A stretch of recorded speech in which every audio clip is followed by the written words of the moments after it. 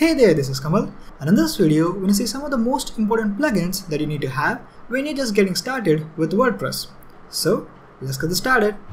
Alright, so first things first, if you have no idea what WordPress is and how to get started with it, I've already done a crash course on that. I'll link that video in the description down below. You can go there and check that out. And once you're done with that, then you can carry on from here.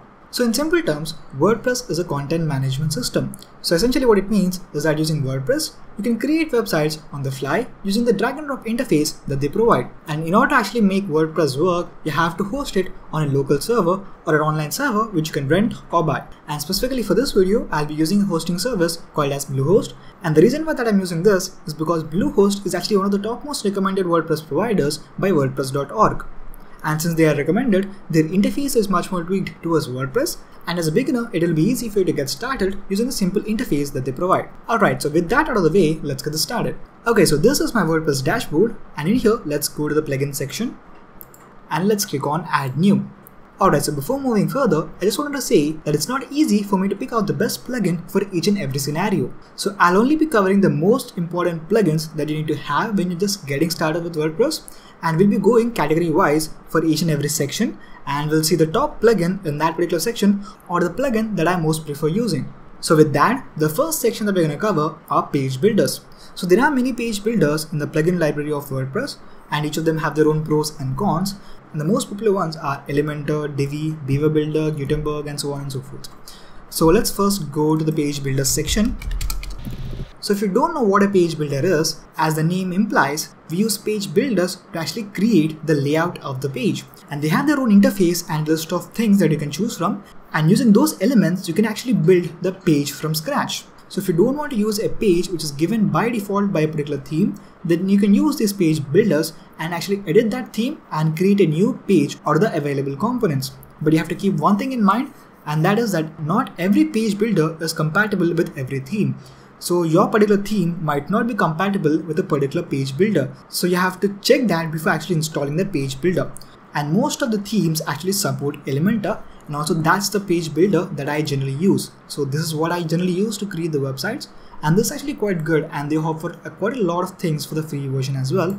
And one neat thing about Elementor is that you can actually install some other plugins to actually add some more elements into Elementor.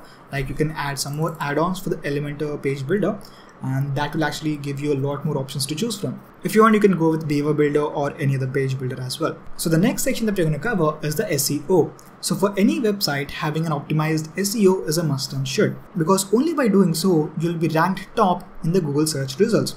So if you search for SEO plugins, so there are multiple plugins that you can choose from here as well.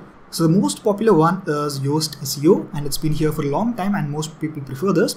So this is good, you can go with this, but I prefer using Rank Math over Yoast SEO because I find that Rank Math has much more better options for the free version and also it's pretty easy to get started with Rank Math SEO. So this is my personal choice, you can go with Yoast SEO or Rank Math or any other one that you can choose from. Alright, so we are covered with the page builders and we're done with the SEO section. Apart from these two plugins, we also need to take care of our site's security. So when it comes to security, there are two main things. The first one is that you know have a lot of spam comments in your WordPress website. The second one is the overall security for your website. So let's first take care of the spam. So if you search for spam, so we have a lot of options here as well. And I think this is the one that you generally get when you install WordPress for the first time by default. So if you want, you can go with this. So it's actually pretty good. It has around 5 million plus active installations. So if you want, you can go with this. But the one that I use is Antispam Bee specifically for spam comments and it's actually quite good. So if you want, you can go with this. This is my personal choice. So apart from spam, you also need to take care of the overall security. So if you type in security, so WordFence is actually the most popular plugin when it comes to security and it's actually quite good. So if you want, you can go with it. It actually takes care of most of the vulnerabilities that your website might have. Apart from this, you can also go with iTheme security. So this is actually a bit newer compared to WordFence but this is also quite good and this is what I generally use and what I prefer using. So if you want, you can go with iTheme security or WordFence as well. Alright, so we are done with the security and the next thing that we need to take care of is the optimization of our website. And if you haven't seen my video on how to optimize a WordPress website, I'll link that video in the description down below. You can go there and check that out. And in that video, I have already explained how we can optimize our WordPress website. And in that, the two main things that you need to keep in mind is one is that you have to have a CDN. The second one is that you have to optimize your images. When it comes to CDN, there are multiple options that you can choose from, but the one that I use is Cloudflare, and that's also the most popular one. So it's actually quite good. So if you want, you can go with that. And in the CDN section, I don't think I see that here. Let me search for Cloudflare directly. Yeah, so this is the plugin. So for this to actually work, you need to have a Cloudflare account. So you have to go to the website and register for a new account. And once you're done with that, they'll give you an API key and you have to paste that in the settings of this particular plugin and your Cloudflare will be active. And one more thing that I need to mention is that if you're using Bluehost as your hosting service, then if you go to my site section and open the site that you're currently working on, and if you go to performance, then you'll see that Cloudflare is actually one of the options that you can choose from for your server. So if you want, you can go with the Cloudflare and I think that improves the website speed quite a lot. So apart from all of these things, the main issue that you need to take care of is backing up your website. So when it comes to backing up, the plugin that I generally use is Updraft Plus. So this is the plugin that I use and it's actually quite good. So this is generally what I use on all my WordPress websites. So you can go with this if you want. So those were the most important categories and the plugins in each of these categories that you actually need to have to create a good WordPress website. Apart from these categories, there are some more categories which are actually important, but they're optional so you can install them if you really have the requirement. And the first one is specifically for e-commerce websites. So when it comes to e-commerce website, you need to have a particular plugin where you can actually see and list out all your products. And the most popular one in that is WooCommerce. So this is the plugin. So if you have an e-commerce website, then WooCommerce is actually a plugin that you must and should have on your website. Apart from that, if you want to create any types of forms like contact me form or newsletter or subscription form, then you need to have a form plugin as well.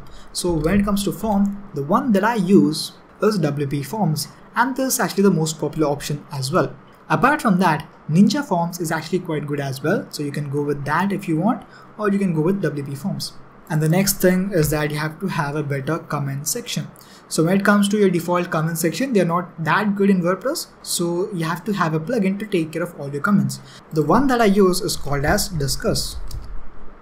So this is the one that I use and it's actually my personal preference. It's not that good and it's not completely free, but this is what I prefer using on my website. If you want, you can go with other options as well. There are multiple things that you can choose from here and you can go with anyone that you like and install that on your website.